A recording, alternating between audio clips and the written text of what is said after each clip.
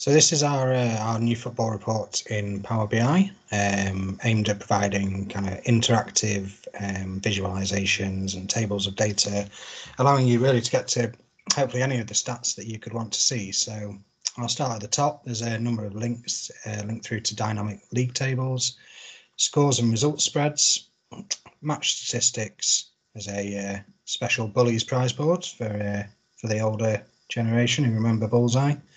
And then down at the bottom, we've got Bundesliga, Premier League, La Liga, Serie A, and Championship. And I'm just also just uh, a nod to the uh, the website where I got the data from in Excel and CSV format.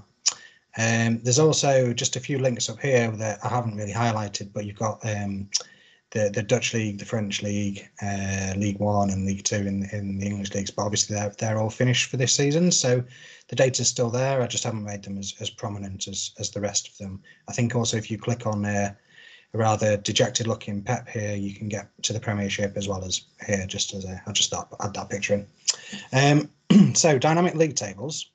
Uh, this is really for for every every one of those leagues. Um, you can change which league you're looking at um, you get a pretty standard kind of league table here, but there's a lot more to it. Um, I've added in the last eight games, so you can see the last eight games for all games. You can see the last eight home games and the last eight away games. This totals up the number of points the team earned in that in those last eight games, whether it's home or away or both. Um, you can change the season. You can go back to previous seasons if you want. Um, and it's worth noting in, in any table of data that you see in this report, you can click on the column headers to sort in ascending or descending order. So if you wanted to look at um, goals conceded, Aston Villa top, Norwich second. If you wanted to look at the least goals conceded, click on it again, and it will sort it in ascending rather than descending order. So Sheffield United there, um, second in the league in terms of goals conceded, um, you know, in a good way, in their favour. Um, and then we've also got a slider at the top here that allows you to change the date range. So it kind of defaults to the latest date. But if you wanted to look at the league, say at Christmas, um, you can change that and it'll recalculate this. It'll tell you the league positions as at that date. And uh, again, these these last eight games will uh, adjust according to the to the date range that you've selected. Um, so quite quite a lot on there, quite a lot in terms of what you can do with that that page in itself. You can also right click um, again with any with any table of data in this report. If you right click on uh, say a team, it's going to allow you a drill through to see the season by fixture or also cumulative um, stats and trends. So if I go for I don't know Wolves, um, let's drill through to the season by fixture. so this shows you both obviously the home and away fixtures um, what the overall result was. You can sort by any of these columns that you want to. Um, tells you the half-time score, full-time score, how many points, uh, so whether obviously whether they won or lost, uh, won or lost. Um, goal scored, goals conceded, goal difference, shots, shots conceded, shots on target. So I don't know if you were interested in looking at um, which games Wolves had the most shots in, then that's what what that's going to tell you. And then from here you can also drill through to get the match stats. So anywhere where you've got a fixture, you can go and look at the stats. Um, so that's Wolves beating Manchester City 3 2, 20 shots against Manchester City 7. Um, I mean, I'm not sure I actually remember the game, but uh, they gave them a good hide in there, didn't they? Um, 1 0 to Manchester City at half time. Um, actually, when as I've looked at the data here, you'll see that uh, Wolves actually scored um, uh, came from behind quite a lot of times um, in in the second half, and, and also won games where, that they hadn't been winning at halftime. Um, it shows you the previous six games for the team that you selected, which was Wolves. That's who we came through on. So it shows you their previous six games to this fixture. It also shows you the opponent's uh, previous six games, just so you can get an idea of what the form was like running up to that game. Um, You've always got a back button here and the BI Horizons logo will always take you back to the cover page. So this back button will take you back to the previous page and then back again, we go back to our league table. So the other drill through from this page was to, I'll, I'll change, I'll go to Manchester United. You can drill through to cumulative stats. So we start off, we're on points, but you can change to any of these statistics, corners won, uh, yellow cards, first half goals scored, first half, um, second half goals scored, first half goals conceded, loads of them there. You can change whether you're looking at Manchester United's home games or away games. Um, and then these are all showing the statistics per game. So this is saying on average, Manchester United at the moment um, have achieved 1.55 points per game season to date, and that and the hover over there as well also gives you sort of a, a snippet of that match analysis um, page.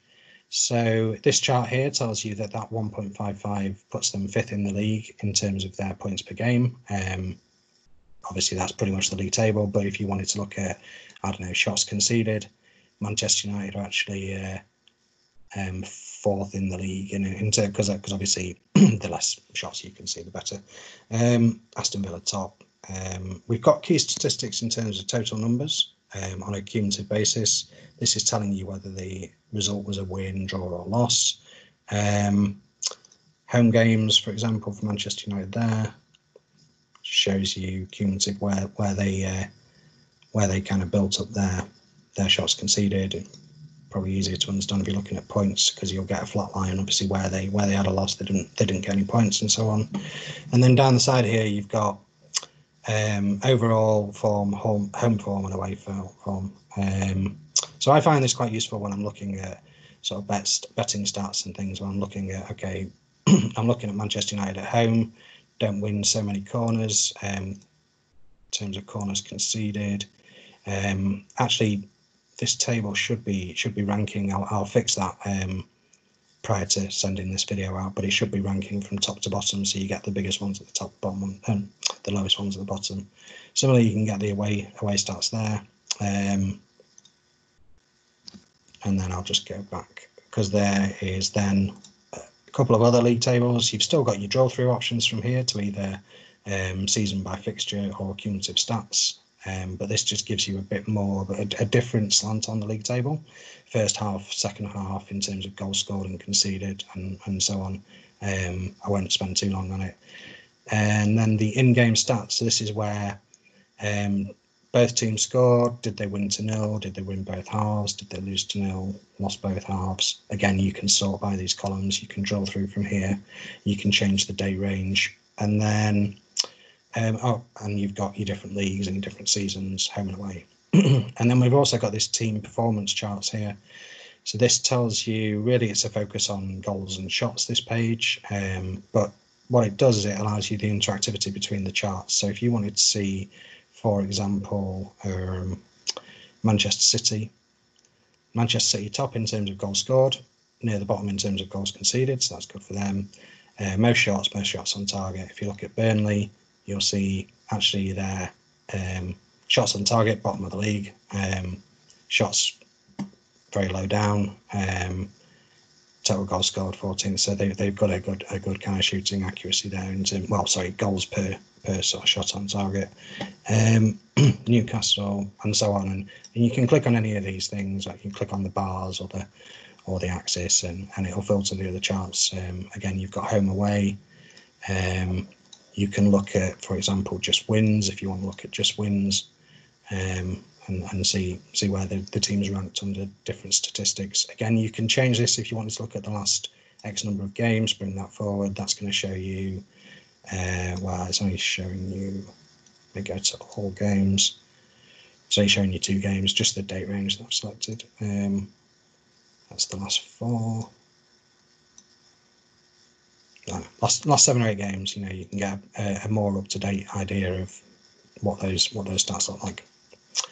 So going back to the the homepage, um, we've then got scores and results spreads. So the first page here is half time, full time, um, win, draw, lose. So teams that were losing and went on to win, teams that were winning and went on to lose. Um, again, you've got this for every every league, every season, home and away as well um, page that shows by season across the top um, what the what the scores were, and it's got a bit of a heat map on there, so you can see where the most likely ones are. So if we select, um, who should we go with? Leicester. Leicester away. Um, you see that the the dark shading here. So uh, three one nil away wins. They've got six uh, two nil home wins. They've got uh, this is so I'm looking at 2014 2015 there, but this season you'll see um, you're looking at one 0 home wins, two 0 away away wins, or two one home wins, or yeah, two one away wins. So uh, it really depends what you want to look at, but you might find some some interesting stuff in there. And then we've also got the score spreads by league and division. So this just shows you across the different leagues that we've built into this what those scores were. Um, you can collapse these down if you want to look at sort of overall subtotals like that, or if you want to look at just away wins, then you can focus in on that. I don't believe there's any, no, there's no drill throughs from this. Um, so a variety of things under the scores and results spread. Um, match stats, loads of stats in here. So down the side here, you've got win, draw, lose, games won to nil, won both halves, and, and so on. Failed to score, both teams to score. Um, and then the teams across the top. At the moment, this is on away. Um, some of these filters apply across pages. So when you adjust it on one, you'll see it on other pages as well. Um, so again, that's that's kind of all games, and then from here you can say, okay, well, I'm interested in this one here. Drill through, see the season by fixture for those two games. Um, or go to the oh this selected statistic is actually what I was looking for sorry. So um, nine score draws for Brighton for example. So if I draw through on that one it's this selected uh, statistic by fixture. You get the nine the nine games there. So there were score draws obviously both teams to score um, and against uh, away at West Ham they they didn't concede in both halves. So you'll see that um, they they were what am I looking at here came through on Brighton oh sorry did concede in both halves so they were 2-0 down at half time and then they conceded in the second half as well confusing myself. Um,